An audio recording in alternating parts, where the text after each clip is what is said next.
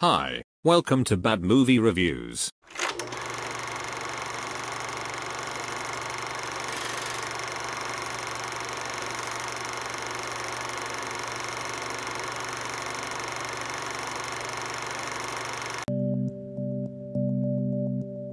Then on to the next one.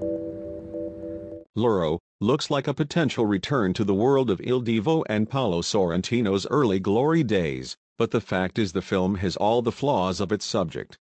Just like Berlusconi, it is misogynistic, tacky, morally and politically vacuous. Again, like Silvio, it thinks it's funny, but it most assuredly isn't. The disaster can partly be seen in its release history with Cannes allegedly turning it down, and Italians getting the film divided into two separate parts, each clocking in at over 100 minutes, and the UK getting a cobbled-together 150-minute version. Sorrentino sees only the panache of the visual. There's no morality here in the midst of the corruption. There's nothing but a nihilistic disdain.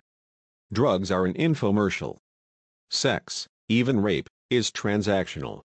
All politics is dishonest and venal. Innocence is a girl in a silver bikini. The film's eventual transition into chastising the hedonism in which it has been reveling is just as awkward as the slack narrative. As a vision of the fall of a contemporary Roman Empire, Loro's bombast becomes numbing far too early. There is no real narrative structure, and very little to the story beyond the grotesque treatment of women, who are only ever referred to as sluts, or whores, or bimbos. Make the point, you'd think, and move on, but it's that, over and over again. There are a few spectacular set pieces like ecstasy pills falling from the sky or Berlusconi engulfed by butterflies, but only a couple of scenes that offer any emotional heft.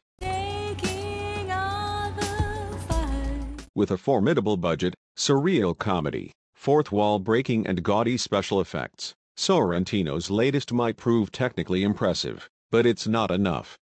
And, once more, much of the important detail is also annoyingly excluded, for example, who are all these awful people with Fellini-esque faces?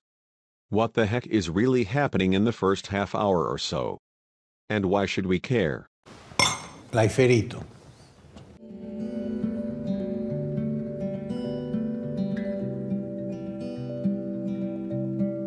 Living through screen time.